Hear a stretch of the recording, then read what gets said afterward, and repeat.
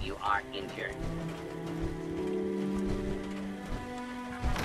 I guess you were the right person for the job, huh? Thanks, Brad.